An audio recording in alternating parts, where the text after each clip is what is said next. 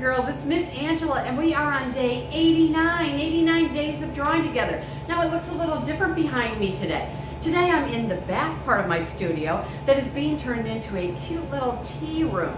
A tea room for little girls and little boys to come back and have a tea and make different um, tea crafts.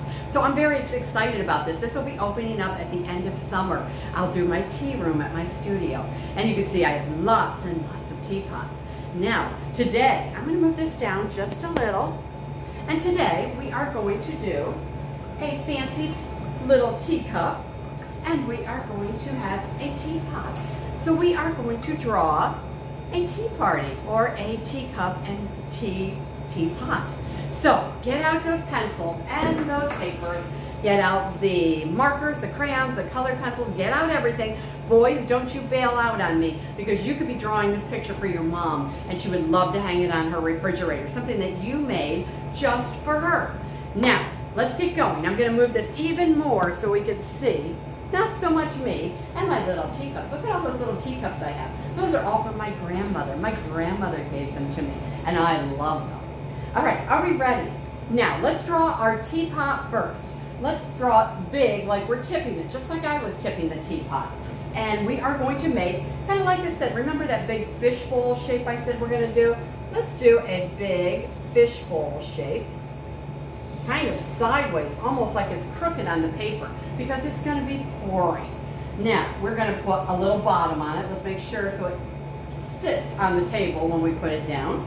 And then we're going to make a little curve up here at for the top. And let's put a little lid on it. As you can see, my little teapot has a lid. It keeps the heat in. So we want to make a little lid for our teapot too. So let's go ahead and put a line. We're going to put it up above a little bit. And then we're going to curve it up. And then let's put a little knot on the top or a little ball on the top so we can pick it up easy. That is the beginning shape of our teapot. Now let's go ahead and put a big handle on it. We need something big to hold on to when we tip our teapot over to fill our cup. So that's the handle. And then we're gonna have a spout here. There's a song, I'm a little teapot, short and stout, and here is my handle, here is my spout. So the spout is where the tea is gonna come out of. So let's make it, oh, let's just make it just like that. We're gonna go down just a little and make a little, almost like an elephant's trunk. And then we'll come up here, and there you go. You have a teapot. So it's easy. Now we gotta have that teapot pouring into something, so let's put a teacup down here. Let's make a nice straight line, just like that. And then let's do kind of a fishbowl again. Let's just go ahead and just make that same shape almost. Maybe even a little flatter on the bottom. Now we've got to have a handle to hold on to. So let's go ahead and put a handle on it, just like that. And then we're going to put a saucer underneath it. And we can just make that kind of just big. That So when you're drinking your tea and you're sipping and you make a little spill, it goes onto the little saucer. Pretty clever, huh? Pretty clever. All right, now, what do we need now? Let's put some tea coming into it. So let's make just a few little lines like this that the tea is pouring. And maybe we're pouring it a little fast. So we're gonna have a couple splashes come up. Look at that. A couple little splashes, like upside down raindrops. That's it. You have a teapot and teacup very simple. And remember, I want you, even boys, to try it. Come on, try it. Just do it for me. Now, I want my teapot to have, oh, you know what? I'm to have my teapot have yellow polka dots. So I am going to color in some big polka dots all over. Now your teapot can have anything you want on it. It can have, oh, what can it have? It can have flowers. It can have anything. I'm going to do a couple here. I might even do this part of it yellow. And then I'll make, look at how I'm making these half circles. It looks like the dots are going around the corner. And then I'll put a couple on here. Now, do I want to have a matching teapot or a teacup? Yeah, maybe I do. Maybe I'm going to have the bottom cup, bottom of my cup yellow, and maybe even my handle yellow. Like it. And then I'll put some polka dots on it, because we got to have some polka dots to make it match. Very, very cool. Oh, you know what? Since I'm doing the yellow here, I think I'm to do yellow down here. Very cool. Now, I want a pink. pink pot, a pink, pink teapot. So I should have probably put, the, well, I had to put the dots on first. So I'm going to do pink all over it because I want a very fancy teapot. Yeah, I'm going to do this too. We're going to color it all in, go around your dots, and around another dot. I kind of outline the dots so that way I don't, you know, go cut into them very much when I'm coloring. All right, I like this little teapot. It's a very colorful, bright teapot. It would make me happy if I drank tea out of this. Do any of you, have you ever tried hot tea? Mm, I'm not a big hot tea drinker, but you can drink iced tea too. It's kind of the same thing, it's just cold. When I have my little tea party, we're going to have all kinds of little drinks.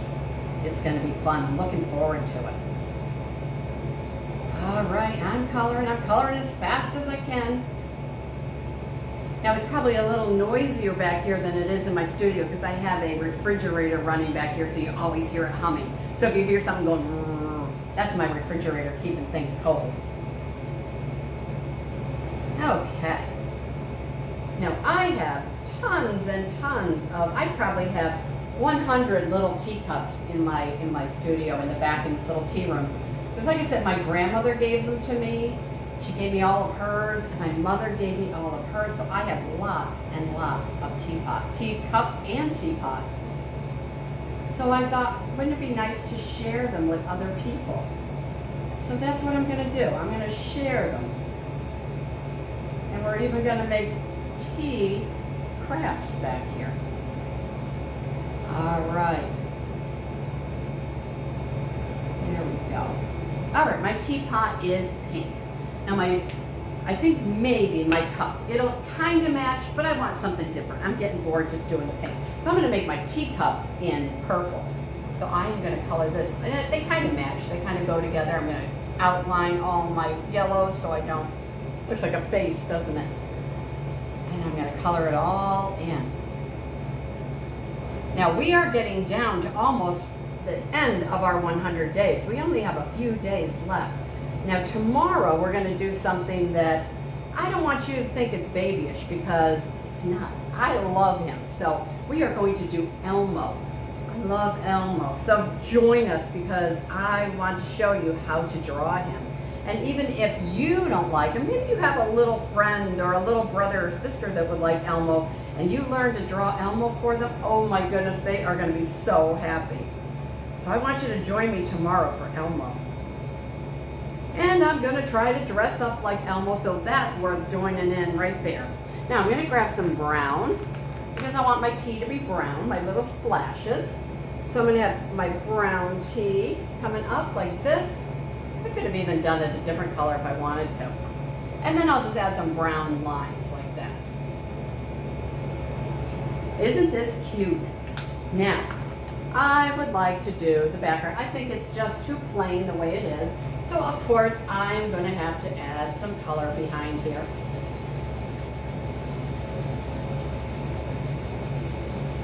And now I want you to try this because this is all about using shapes to create something. So even if you don't like tea, even if you think it's too girly, your mom will like it or grandma will like it, so why don't you draw it for them? You should always try everything. Don't ever limit yourself thinking, oh, I don't like to draw that kind of thing, because that's not, that's not something I like. Because you'll find if you try to practice something else, it may be something that somebody else likes, and you could give it to them or show them how wonderful of an artist you are that you can draw something like this. So I will see you tomorrow, everybody. We're going to be drawing Elmo, so join me. It's going to be fun. Now, I want you to do what I tell you, every single day. I want you to be safe. I want you to wash your hands. I want you to listen to your parents. I want you to be creative. And I want you to be kind to everyone. So have a little cup of tea. And I will see you tomorrow, everybody. Bye-bye now. See you in the morning.